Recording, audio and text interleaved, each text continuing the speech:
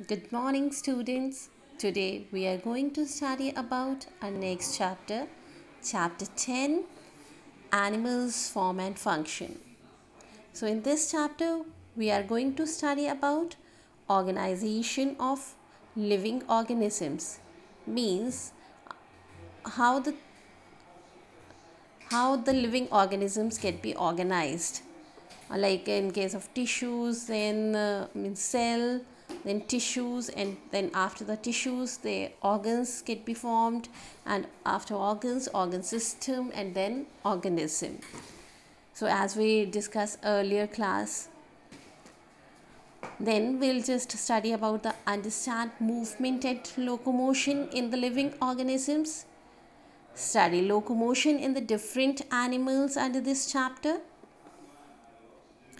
comprehends movement of the different body parts in human beings. Learn human skeletal system. Understand bones and joints in this chapter. Understand association between bones and muscles. So let's start. Organization of living organisms.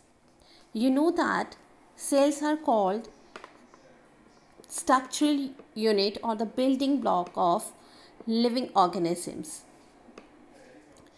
Uh, why will say this thing? Because all the living organisms are made up of cells. So the body of the organisms may be composed of a single cell or millions of cells. Like on the basis of their organization, we can classify organism into unicellular and multicellular organisms.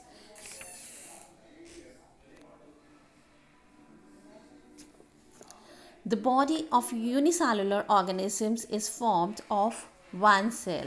So in this chapter we will discuss about we will discuss about amoeba, euglena, paramecium are the organisms that are made up of a single cell all the life processes can be take place in the single cell. In multicellular organisms, the body is formed of a large number of cells. Different cells dedicate to carry out the different jobs or the different works. Like in case of the hydra, cockroach. So complex multicellular organisms have tissues, organ and organ system. So once the body is made up of a cell and uh, the number of cells that can perform a similar function that is called a tissue. And tissues join together to form a organs. And organs work together. When the number of organs working together that forms a organ system and when number of organ systems are working together and they form a organism that this type of organisms are called multicellular organisms. Now we are just going to discuss about the details how the tissues can be formed organ can be formed and the organ system. Tissue. A tissue is a group of similar cells that join uh, to perform the specific or the special function. Means the cells that are performing the similar function muscles bones blood are the tissue in our body okay? In our human bodies we can say uh, the muscles that are performing the similar functions bones and the blood cells are called uh, tissues. The muscular tissue is responsible for the movement in our body. Then next part is the organ. A number of tissues working together to perform a same function and make up a organ. For example, the eyes are the organ of sight, lungs are the organs of respiration and the heart uh, pumps blood to all other parts of the body. So these are called the organs so like uh, a heart is one of the organ liver is the organ then is the organ system when many organs work together for one major life function, they form a organ system. For example, mouth, gullet, stomach, intestine, rectum together form a digestive system. Heart and the blood vessels form a circulatory system.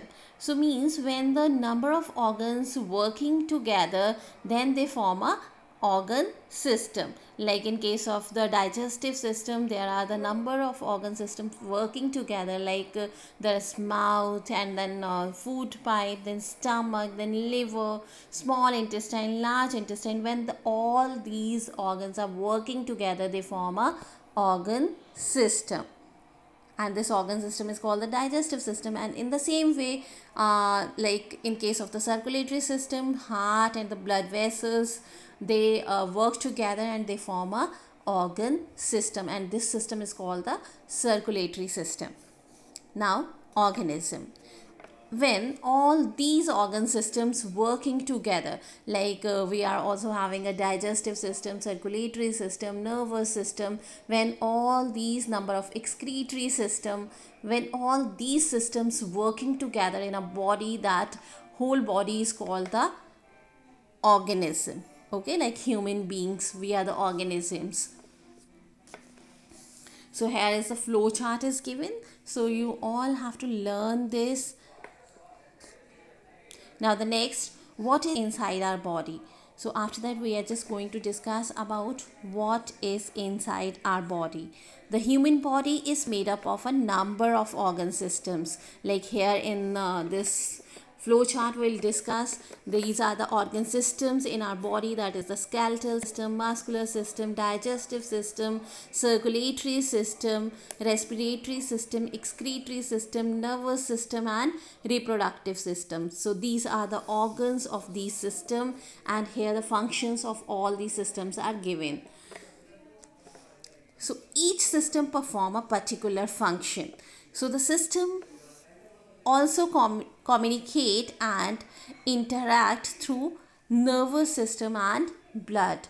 All the system uh, in all means all other systems that are inside our body that work together and uh, through means the messages are carried from one system to the another that is by the nervous system and by the blood. So here the checkpoint one is given So now we'll just going to discuss the checkpoint. Testes is an organ of dash reproductive system. So this is a male reproductive system. Stomach is a part of digestive system. This is the part of digestive system. Bones and cartilage are dash they are the part of skeletal system.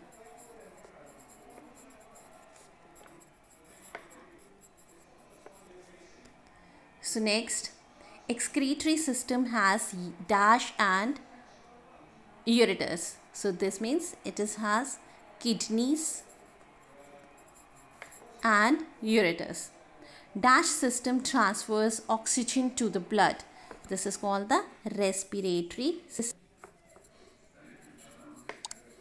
This is called the respiratory system. Thank you and have a nice day all.